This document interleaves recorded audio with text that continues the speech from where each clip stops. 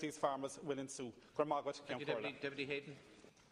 Well, good, uh, Ceann Comhairle, and I'm delighted to have the opportunity to speak to this uh, important motion. As a mixed enterprise farmer myself, I know all too well how challenging not just this year but recent years has been, not just in terms of weather but overall price uh, for what is a very critical tillage sector.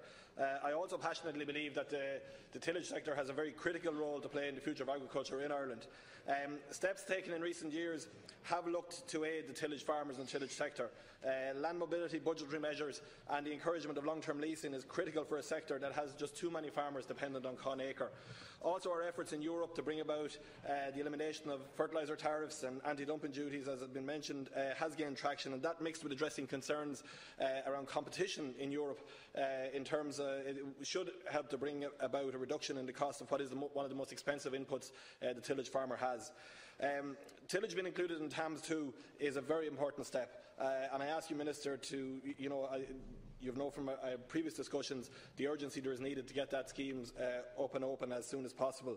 Um, other measures like the protein crop payment under the uh, basic payment, uh, payment, scheme and the first time tillage uh, included as part of the knowledge transfer groups are also other key measures set to uh, support and shows government's commitment to the tillage sector, I, I honestly believe.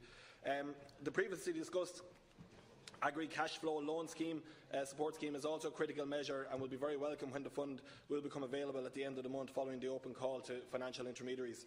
Um, tillage has a critical role to play uh, for our agriculture industry, and that's not just for to feed a growing beef and dairy sector uh, or to give more supplies to a burgeoning whisky sector uh, and beyond in, in distilling. Um, if you just look at climate change and the commitments and challenges that we face as a country, tillage has a massive role to play in that. And earlier, one of the speakers touched on, um, the, you know, the sugar beet and the loss of the sugar beet industry. That's something that I've passionately campaigned on uh, for a long time. That was a dreadful mistake um, for this country. You know, we now look at the likes of the measures that are being brought in under the new CAP, where crop rotation is a key part, and a key part that the sugar um, sugar beet was gave to our industry.